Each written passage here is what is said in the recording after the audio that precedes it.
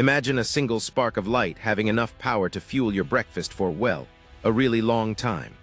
We're all familiar with lightning, that incredible flash across the sky during a storm. It's beautiful, terrifying, and frankly, unbelievably powerful. But just how powerful? It's easy to get lost in the spectacle, but the energy contained in a single bolt is genuinely mind-blowing. Think about taking something extremely hot, like a toaster, the kind that perfectly browns your bread. Now multiply that heating capacity by 100,000. That's roughly the equivalent energy unleashed in just one lightning strike.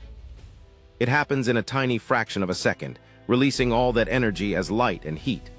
This incredible force isn't just about toasting bread, of course. It superheats the air around it to temperatures hotter than the surface of the sun.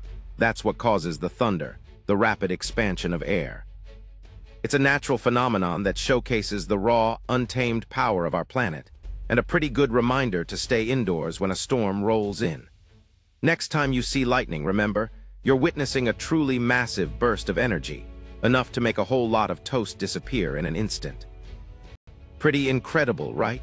Let me know in the comments if that blew your mind and what other surprising facts you'd like me to explore.